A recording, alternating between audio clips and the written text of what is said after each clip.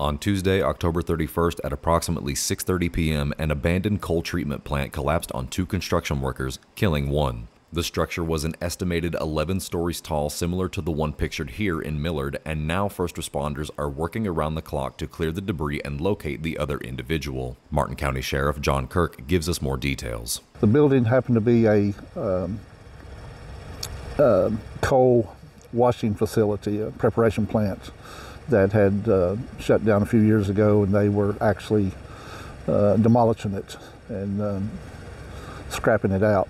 Uh, there were two workers inside there uh, cutting with cutting torches uh, when the building collapsed.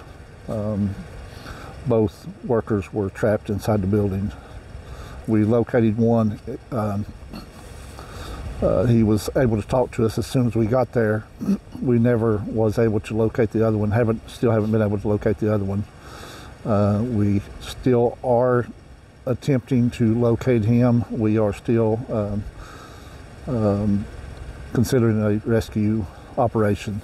Paramedics and fire rescue teams from as far as Louisville are contributing to the search and rescue effort. Stay tuned to Mountaintop News for any updates as they become available. We've got multiple uh, rescue crews there, uh, crews out of Louisville, Lexington, Covington, Northern Kentucky. Uh, Ashland has been here, Pike County has been here, Pikeville has been here.